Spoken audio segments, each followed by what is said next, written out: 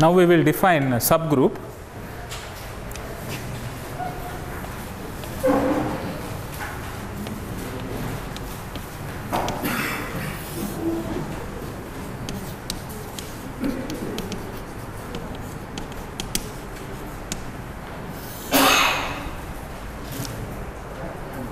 Let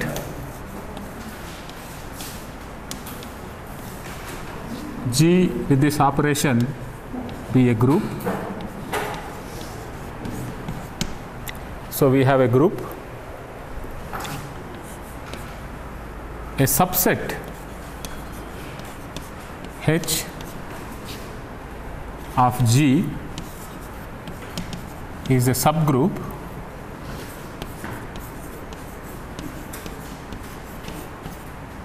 A subset H of G is a subgroup. If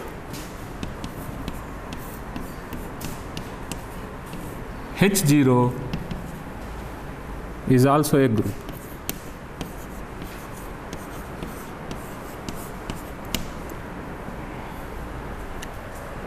If H0 is also a group, then we have, we call it a subgroup. It should be a subset and under the same composition, it should also be a group. Okay?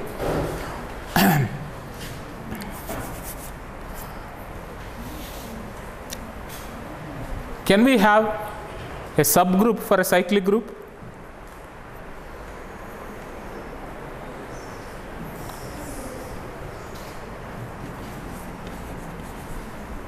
Can a cyclic group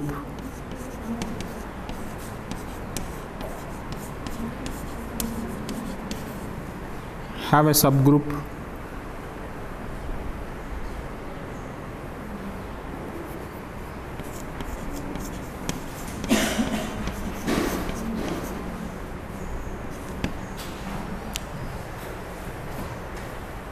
If you take any subset of a cyclic group, what happens?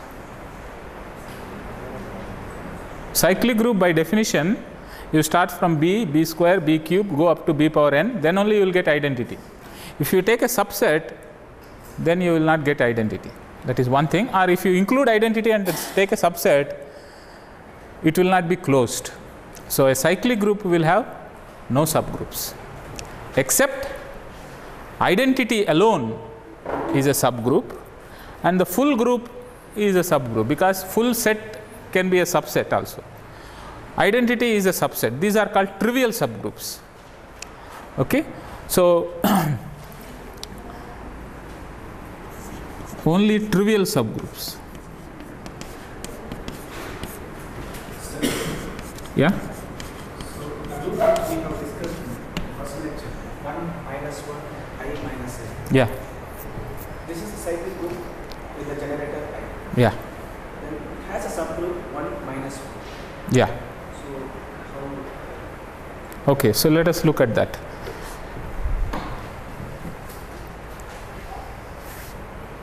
Okay, this is a good question. I think it's so the question is we have this we discussed about this group i i square which is equal to minus 1 and i cube which is equal to minus i and i power 4 which is equal to 1 and now if you take if you take i okay so if you take uh, 1 minus, i over 4 and i square. i power 4 and i square if you take this is a subgroup Order 2.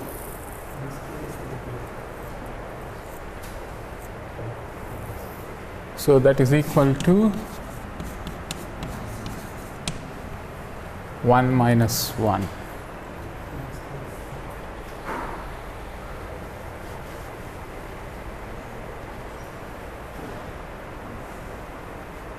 okay okay i think i i think i cannot make this statement here let us keep this question i think this example is uh, a counter example for whatever I have written. Actually, G is complex multiplication. Yeah. Here in subgroup, No, it's a multiplication is, see, you can treat this also as a complex number and then multiply, so that's not a problem. But uh, I think uh, before we go, I have to, of course, introduce. Let me come back to this problem. So it is not true that, um, as this example uh, tells us, that it's not true that all cyclic groups will have only trivial subgroups. There will be some non-trivial subgroups, but only trivial subgroups will be there for certain cyclic groups. We will understand what are those uh, cyclic groups for which only trivial subgroups will be there. For that, let me introduce a couple of more concepts and then we will discuss this. Okay. Now, let me say that so for example so one example is this okay so let us come back to this question a little later so example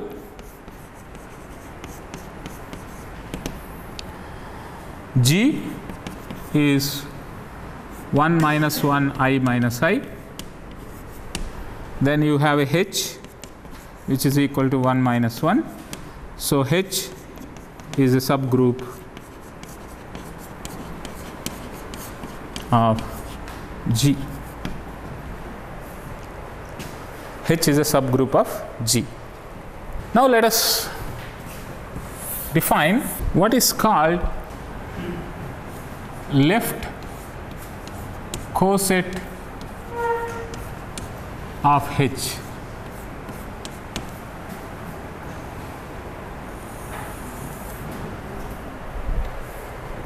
H is a subgroup of G.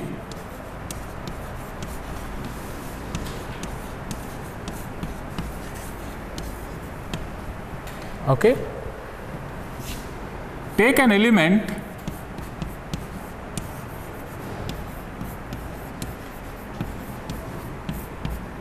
A in G but not in H.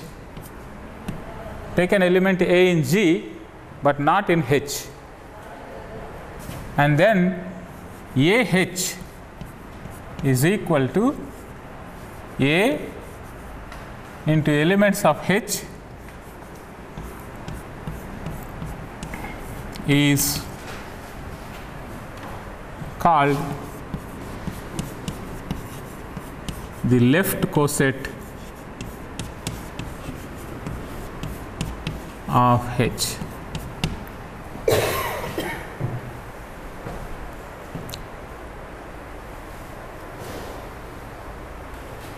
Okay. So, in this particular example, what is left coset of suppose consider let i belongs to G but does not belong to H. Okay. So, what is I H? The left coset of this H is i times 1 i times minus 1. So, this is equal to i minus i. I can define a left coset with another element which is in G but not in H that is minus i. So, if I write minus i into H that becomes minus i i. So, these two are not different they are same as a set okay. So, they are e equal they are set equal as a sets they are same sets. So, this left coset is not different from this left coset. Okay. So, this is left coset. Now, right coset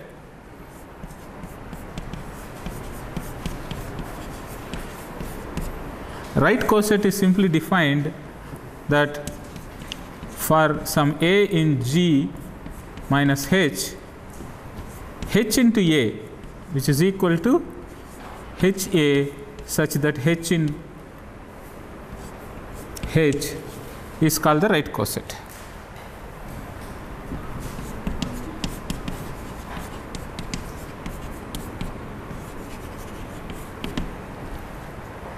That means here I have multiplied this from the left, there I have to multiply from the right. Now these two cosets need not be in general same. Okay. But in this particular example, they are same because this is an abelian group. So multiplying from the left is same as multiplying from the right. So for an abelian group, this is left coset and right coset will be same. But in general, they need not be same. Now there is is coset a group? Is the coset of a subgroup itself a subgroup? No, because there is no identity in general. So coset is not a subgroup, but it's a set. Okay.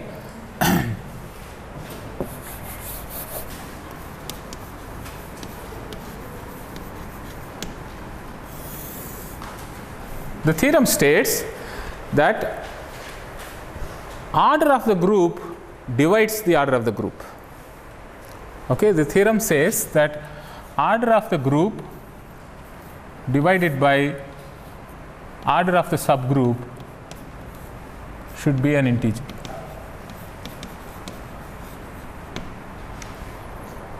Order of the group should be divisible by order of the subgroup. How do we understand this? That is, order of the group should be divisible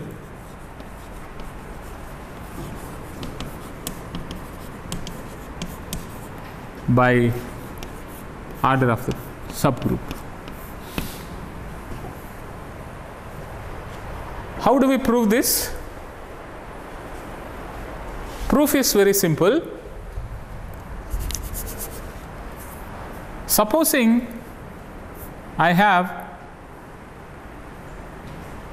a group. A group can be written as a subgroup, okay, a subgroup, and sum of cosets. Suppose I have some elements A which are not G in H, I can make a coset out of that. Then remaining elements I will get as a coset. Then one more element. So I can write down this as some A1 times H, call it as G1 times H, comma G2 times H, etc. Some Gm times H. Left cosets are right cosets. Okay. Now, what does it mean? If order of H is equal to some k, this will be m times k. Correct? So, if order of H is equal to some k, then order of G is equal to m times k or order of G divided by order of H is equal to m. How many elements will give distinct cosets? Okay? How many elements will give distinct cosets? So, in this particular example, what is the how many number of cosets are there? Here we can write G as H i times H minus i times H also give the same thing. Okay, H and i times H. So, I have 2 total is 4. So, 4 is divisible by 2. Okay. So, order of the group divides order of the group is divisible by order of the subgroup. This is called the Lagrange's theorem. So, whole group can be divided into subgroup and its cosets.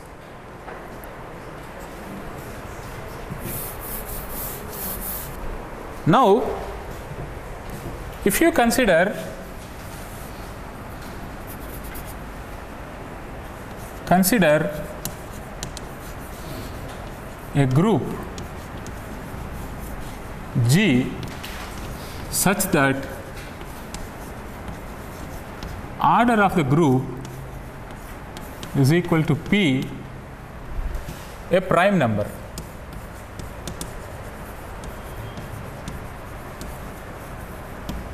Let us say consider a group whose order of the group is P and P is a prime number. What can we say about this group?